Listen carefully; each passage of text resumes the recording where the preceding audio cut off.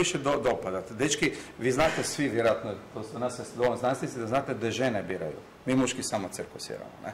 Sad zaista ove siročiće, oni moraju cirkusirati, gledajte sad za, za gradonačelnika, gradonačelnika Zagreba i tako Oni moraju sad nama cirkusirati ko šta i tako svašta nudi.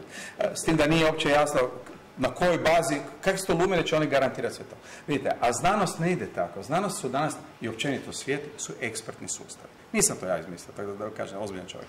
Dakle, bilo koji problem vi danas imate, to smo najbanalije. Da li Croatia Airlines će kupiti Boeinge ili, ili Airbuseve ili ne znam kaj. To, su, to je svaki put ekspertni problem. Onaj Siročić gore mora doneti odluku. Dakle, mi imamo konceptualni problem u društvu kompleksnosti, ne moramo objašnjavati, jel?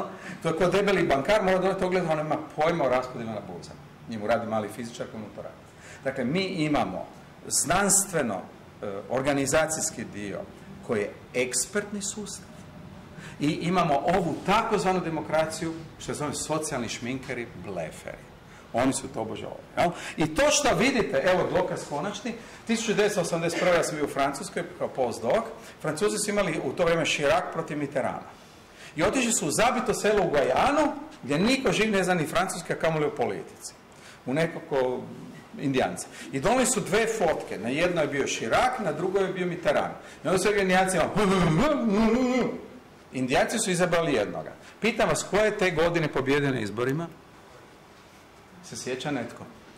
Mitterrand. Mitterrand. Koga su izabrali indijanci?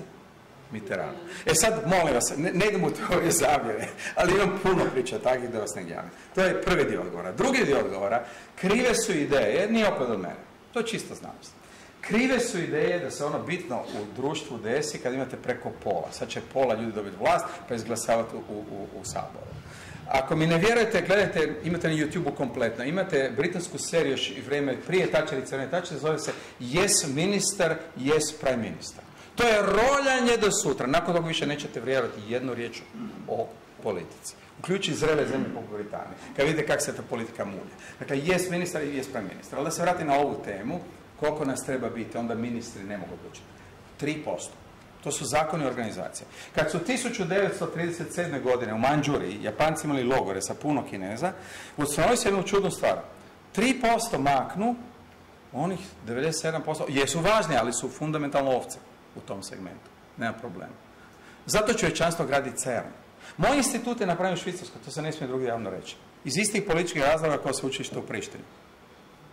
Nije vic. 68. su se bunili po Parizu, sjećate se onih Kikića? Švicarci su rekli, pa nama nije dovoljno institut samo na njemačkom području, napravili su francuskom. U među smo mi narasti, ali mi smo u početku bili napravljeni kao frankofonski institut iz čisto političkih razloga. Okay? Ali zna se, da bi se koherencija desila, ako imate jednu močvaru, imate kad je 3%, postavi se koherencija cvrčaka i sve vam počne ovako. To vam mogu pokazati na primjer supravoljivosti, na njihalima, možete staviti to iskripirenti, držim predavanje o tome, ti ćeš biti u novom mjestu 21. i tako dalje, mogu vam to držati. Dakle, kad su ljudi u fazi, to je kao u nogometu. Zašto momčaka dobro odigra kad se zove? Zato što ona ide po desnom krilu, on centrira, hop, ovo je točno tu, hop, i smo to totalno fazi. To je fundament ljubavi. Muškarac i žena, jedan plus jedan, sjeverni i južni pol. Jedan plus jedan su jedan. To u fizici postoji, to postoji u znanosti kompleksnosti i to ti je odgovor na tvoje pitanje, dragi moji. I to je znao kardinal Stepinac.